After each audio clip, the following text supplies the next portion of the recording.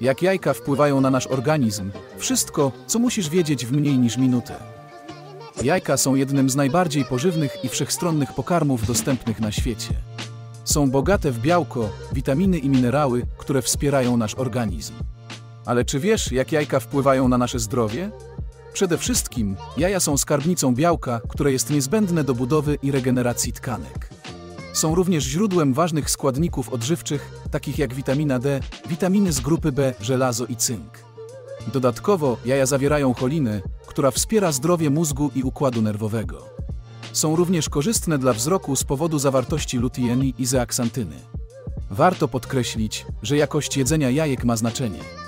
Wybieraj te, które pochodzą od zdrowych kur hodowanych na wolnym wybiegu lub z ekologicznych źródeł, aby zapewnić sobie najwyższą jakość składników odżywczych.